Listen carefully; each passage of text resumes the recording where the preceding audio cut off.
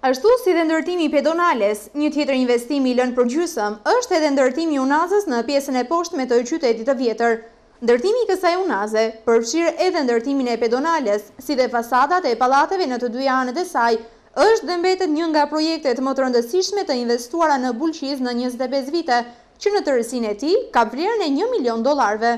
Përveçse e lënë përgjysëm, ajo konsiderohet nga specialistët edhe jofunksionale, pasi në kryqëzimin me rrugën e Qytetit të Ri duhej rrethrrotullim, pasi në këtë gjendje që është, ajo mbetet burim aksidentesh. Po. Ndërtimi i kësaj unazës në qytet. Krejt e nabla, se e sheh. Pra nuk është funksionale sipas jush? Jo, s'është funksionale, çfarë funksionale, ti e shef. Ma do të kesh rreth, do të kesh rrethrrotullim, jo kështu. Po, jo, po. Sa është normale këtë, sa të thevur i këtë. Faleminderit. Gjithë njerë. Është ndërtuar unaza në pjesën e poshtme të qytetit të vjetër të, të Bulqizës. Mendoni se është funksionale ndërtimi i kësaj unaze? është shumë funksionale, ka gabimet e veta, natyrisht, që ka gabimet e veta, një unazë dhe një pedonale që është sipër, po. akoma është në përfundim, po nuk kanë përfundu. është bo një gjo shumë e bukur për Bulqizën, po faktikisht çdo punim edhe çdo ergo, që them greqisht nuk e di shqip, ka ato funksionet e veta negative dhe pozitive. Këtu është bo një punë shumë e mirë, po ka mangësitë e veta. Unë shof Të gjithë rrugën dytësore, që quhet rrugë dytësore kjo që jemi aktualisht tani dhe kryqëzimi, këtu duhet të ketë të paktën fener. Fener, semafor, nuk e di si i thonë. Semafor. Duhet të ketë semafor, sepse këtu lum kush i di rregullat e qarkullimit rrugor. Këtu nuk ka, këtu të paktën, është pika kyçe që më intervistoni tani, Nuk ka fener, nuk ka, nuk ka shenja qarkullimi. Aty janë dy puseta të hapura që janë burim e, i, i, i aksidenteve. Pse të marrë kjo kjo rrugë dytësore pa shenja të qarkullimit rrugor?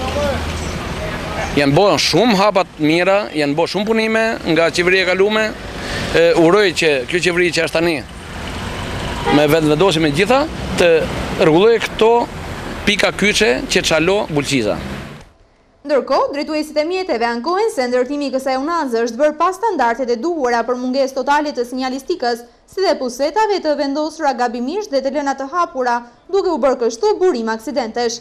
Trotuarët e ngushta, të zëna dhe pjesore, përfshirë edhe pusetat e hapura, janë një tjetër pengesë për lëvizjen e banorëve si dhe rrezik permanent për fëmijët e vegjël të pallateve në anë të saj. Vejnë puseta, po jo diagonale, apo jo turp.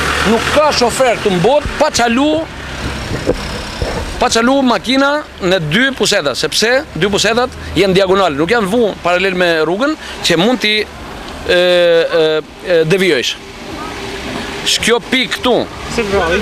Kjo pikë është pikë që Kjo pikë këtu është burim aksidentesh.